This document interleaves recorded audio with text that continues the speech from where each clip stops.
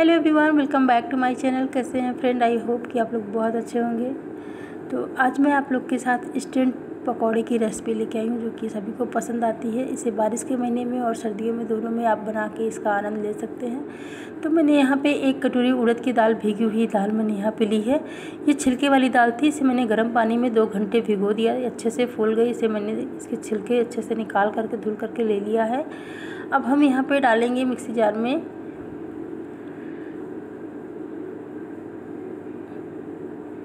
और इसके बाद मैं सारी दाल को यहाँ पर डाल दी हूँ। उसके बाद मैं यहाँ पर डालती हूँ एक इंच अदरक का टुकड़ा, एक हरी मिर्च और आठ से दस कली लहसुन। अगर आपको हरी मिर्च ज़्यादा खाना पसंद हो तो दो तीन डाल सकते हो तीखा खाना ज़्यादा कर पसंद हो तो। यहाँ पे मैंने एक बड़े चम्मच धनिया पाउडर डाल दिया है। आधा चम्मच मैंने यहाँ पे तीखी वाली लाल मिर्ची का पाउडर डाल देना है, क्योंकि अगर आप नहीं खाना तीखा पसंद करते तो आप स्किप भी कर सकते हैं। तो यहाँ पे थोड़ी सी आप काली मिर्च का यूज़ कर सकते हैं। पर मैंने काली मिर्च की यूज़ नहीं किया हुआ है। लाल मिर्ची लिया है। और यहाँ पे जो है, हींग डाल देते हैं, क्योंकि उड़द की दाल होती है गरिष्ठ, इससे इसका गरिष्ठपन ख़त्म हो जाता है। तो अब मैं इसे पीस लेती हूँ।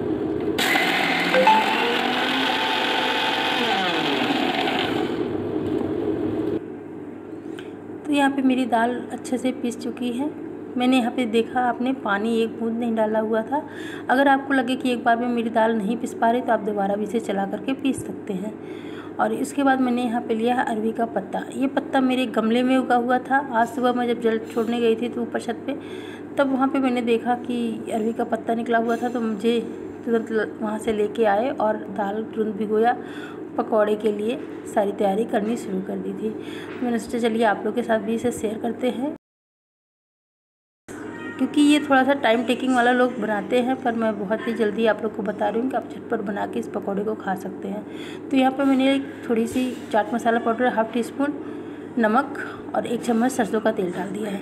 अगर आपके पास चाट मसाला नहीं तो आप यहाँ पे अमचूर पाउडर भी यूज़ कर सकते हैं। क्योंकि थोड़ा सा खट्टा ये हाथों में थोड़ा सा वो लगता है ना, इसका चुन चुन करता है तो इसलिए मैंने यहाँ पे थोड़ा सा खट्टे का प्रयोग किया हुआ है। अगर आपको खट्टा नहीं पसंद है, आप ना करिए, पर मुझे लगता है कि यहाँ पे ज़रूरत है। तो बाद मैंने दाल को यहाँ पे मिक्स कर दिया, जैसे कि दाल मैंने सारी चीज़ें आप लोग को दिखाई दी थी पीस के और उसके बाद मैं यहाँ पर डाल देती हूँ एक चम्मच जीरा पाउडर। थोड़ी सी मैंने हींग और डाल दी, मुझे लगा हींग थोड़ी सी कम लग रही थी। और एक चम्मच मैंने यहाँ पे डाल दिया हल्दी पाउडर। जीरा पाउडर की जगह आप जीरा भी साबित डाल सकते हैं या कच्चा जीरा भी पीस करके डाल सकते हैं, पर मैं भुना पिसा जीरा यूज़ करती हूँ। इस वजह से मैंने भुना पिसा जीरा ही इसमें यूज़ किया है। इधर मैंने गैस ऑन करके कढ़ाई रख दिया गैस पे और उसके बाद मैंने सरसों का तेल डाल दिया है। ये गर्म हो रहा है क्योंकि पकौड़े जो है सरसों के तेल में ही अच्छे लगते हैं। तो यहाँ पे मैंने हल्का सा पानी या तेल अपने हाथों में लगा करके गोल या कटलेट जैसे आप जो भी बनाना चाहें वैसे बना के उसी तरीके से यहाँ पे डाल दीजिए। तो मैं यहाँ पे जो है गैस की फ्लेम मीडियम कर दी हूँ, क्योंकि उड़द की दाल थोड़ी देर से पकती है। तो तेज़ आँच पे नहीं पकाना है, धीमी आँच पे भी नहीं पकाना है, मीडियम रखेंगे तो सही रहेगा। तो यहाँ पे देखिए धीमे धीमे करके मैं इसे अलट पलट के पका लेती हूँ। तो इसका कलर बहुत ही अच्छा आया है और काफ़ी क्रिस्पी और करारी सी ये बनी हुई है। तो यहाँ पे मैं दूसरा शिफ्ट डाल देती हूँ इसी तरीके से।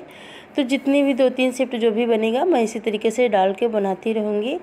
आई होप कि आप लोग को मेरी ये रेसिपी बहुत ज़्यादा पसंद आए वैसे मेरी रेसिपी आप लोग को बहुत ज़्यादा पसंद आती है।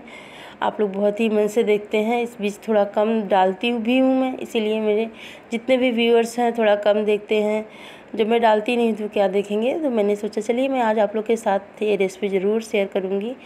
अगर आप लोग को तुरंत तुरंत पकौड़े खाने के मन किए तो आप इस तरीके से बना करके खा सकते हैं।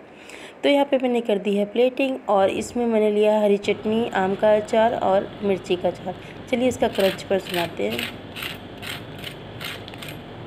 सुन लिया, आप लोगों ने कितना क्रंची बना हुआ है और बहुत ही अंदर तक अच्छे से पका हुआ है। तो इसे आप चाहे जब खाएँ, सर्दियों में और बरसात में, जब भी आप इसका मौसम हो, आप ऐसे बना के खा सकते हैं। वीडियो हमारी पसंद आए तो वीडियो को लाइक कीजिएगा। इस रेसिपी को आप एक बार ज़रूर ट्राई कीजिएगा। बहुत ही जल्दी और काफ़ी हेल्दी सी बनती है। मिलते हैं एक नए वीडियो के साथ इसी तरीके से। तब तक के लिए बाय बाय फ्रेंड।